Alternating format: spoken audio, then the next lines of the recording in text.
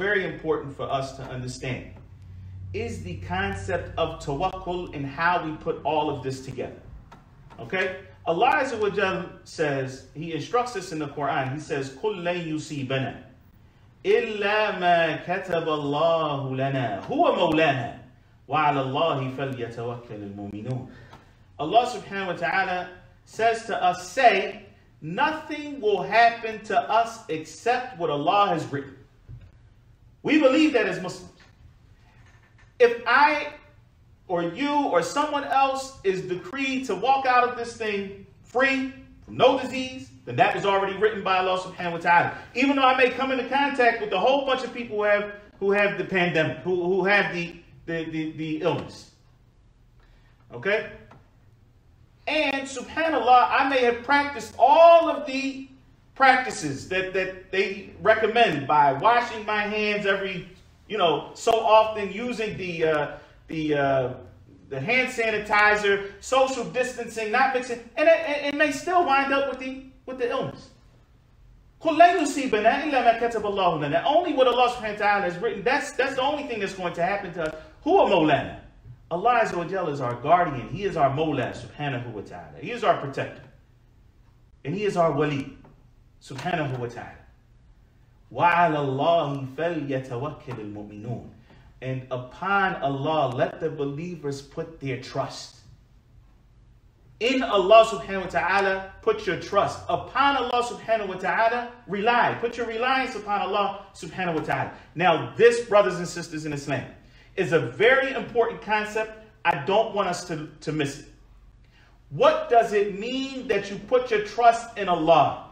Unfortunately, we see too many believers who think that it means to abandon reason to abandon the practices that protect us. Our Prophet ﷺ was the best one who ever put his trust in Allah. When he went to Mecca, even though there was a presumption that there wasn't going to be fighting, Amal Fath, when they went into Mecca, Prophet ﷺ had his armor on, he had his helmet on. And he wasn't going around saying to people, why do I need it? Yeah, it's a, it's, there's a war, but why do I need armor and why do I need a helmet? Allah protects me. Yes, Allah will protect you, but Allah has also instructed us to take means. The same one who said, while Allah mu'minun, and upon in, in Allah put your trust, the same one who said that said, Khudu hidrakum, take your precautions. Allah said that, and he said that. Our Prophet alayhi salatu in a famous hadith, he says, La adwa wa la tiyara to the end of the hadith. Very beginning of the hadith is what I want to focus on. He says, La adwa. There is no, nothing that is contagious. What? What does that mean? What the Prophet ﷺ is telling us here is that there is no contagion that acts on its own. That the things only spread from one person to another person by the will of Allah subhanahu wa ta'ala. These are not independent actors, independent agents. They only act by the will of Allah. La adwa. So there's nothing that independently can go from one place to another place, infect this person and then that person, except by the will of Allah subhanahu wa ta'ala. We believe that. And then what did the Prophet say at the end of that same hadith? Same hadith, where it says that none of that happens except for the will of Allah. He then said, وَفِرَّ مِنَ الْمَجْدُومِ كَمَا تَفِرُّ مِنَ الْأَسَدِ And run away from the one who is majdum, yani the one who has leprosy, which is a which is an infectious disease. Run away from him the way that you would run away from a lion. Okay, if we're saying that there's nothing contagious that can act on its own, then why would I run away? You run away because you have to take the means.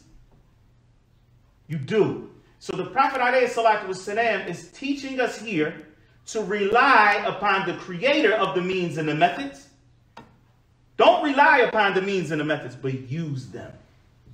Use them, but don't rely upon them.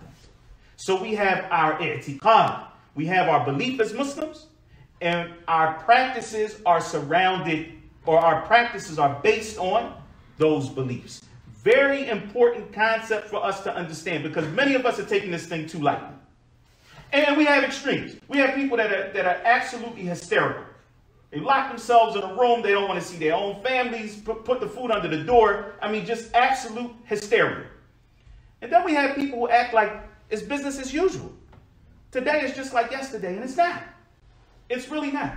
And this is not just some, uh, even if this is, you know, we want to go with conspiracy theories and things like that. The reality is that's, that has nothing to do with what the reality is today. If this was a conspiracy theory for, I mean, if this was a conspiracy to control populations and so on and so forth, whatever it might have started as, it is what it is today. And, and we have to deal with the reality of today. So it's very important for us also to recognize that our tawakkul and Allah subhanahu wa ta'ala does not negate us doing those things that the professionals in their fields are recommending that we do. However, brothers in Islam, and this is the point that we want to make today in this khutbah, is that all of those means that are being talked about are physical means. Washing your hands, using hand sanitizer, staying a certain distance, coughing in the crook of your arm, uh, uh, self isolating or quarantining to the end of it. These are physical means. Nobody, except for a believer in Allah subhanahu wa ta'ala, is going to remind you of divine protection from Allah subhanahu wa ta'ala. As believers, we again don't process things the same way that other people process. And therefore, we have to seek protection from Allah subhanahu wa ta'ala from something that is far more dangerous than COVID 19. Pay attention here. What is far more dangerous than COVID 19 and what has crippled more people globally than COVID 19 is the fear of COVID 19. It's the fear. It is the anxiety that comes with a global pandemic.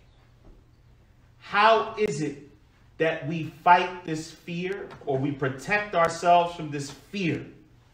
And, and, and I, I'm not talking about taking precautions. We, we already said that we have to take our precautions. But how do we keep ourselves from panicking? There's only one way and that is for Allah subhanahu wa ta'ala to guide your heart. It's, it's for you to allow Allah subhanahu wa ta'ala to guide your heart. You have to get out of the way and turn your affair over to Allah subhanahu wa ta'ala. This fear and this anxiety, the same way that every illness has symptoms, right? When we talk about what we're dealing with today, the COVID-19, and talking about the fever, and the dry cough and the other things that are associated. These are symptoms, but there's an underlying illness. Fear and anxiety are symptoms. The underlying illness is that we don't have enough trust in Allah. The underlying illness is that we're not really sure whether Allah is our Rabb. Is he, he really our caretaker? We don't have that confidence in Allah subhanahu wa ta'ala to remove from us the affliction or to decree what's best for us, even if that means that we're afflicted with the illness.